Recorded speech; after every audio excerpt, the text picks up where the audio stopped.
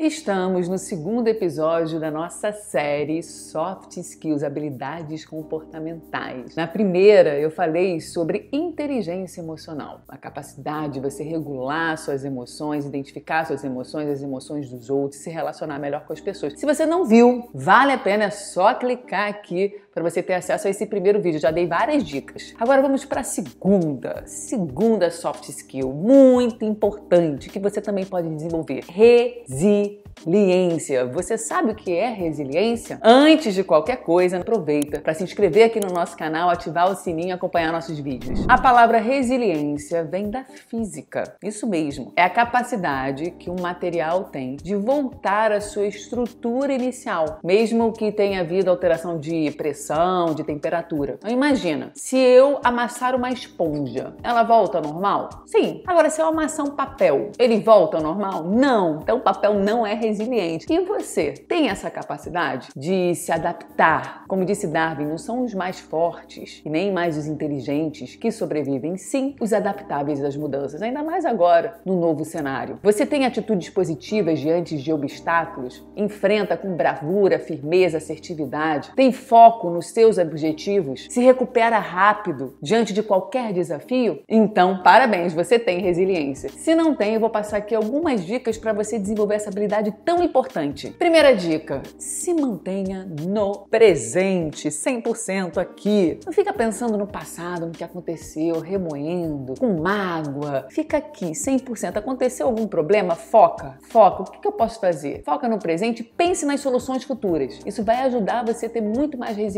Segunda dica: mantenha-se motivado todo dia. Motivação, eu costumo dizer, tem que ser igual escovar dente. Ninguém vai te motivar. Você tem que ser capaz de levantar todo dia e ter algum ritual que seja para você conseguir ter uma energia mais positiva, atitude, conseguir enfrentar os desafios que a vida nos oferece, que são muitos. Mas foque nisso, em você ter essa atitude e conseguir se manter motivado todo santo dia. Terceira dica: foque no positivo das pessoas e das situações. Aconteceu algo, algum desafio, veja pelo lado positivo. O que, que eu posso aprender com isso? Por exemplo, quando a gente tem um desafio aqui, um aluno faz uma sugestão, uma reclamação, é, é claro que a gente pensa, poxa, não podia ter acontecido isso, foi um erro, e a gente tem que tirar uma lição disso. O que, que, que pode melhorar? Por que, que ele não estava satisfeito? Aconteceu alguma coisa, alguma situação? Vamos focar pelo lado positivo, vamos achar uma solução. Né? Ele não está querendo fazer por mal, ele está só reivindicando o direito dele, ou ele está passando por uma situação X, Y. Então entenda o outro, a situação do outro e, e, o próprio fato. Foque sempre no positivo. E quarta e última dica: foque no fato, na solução do problema. Qual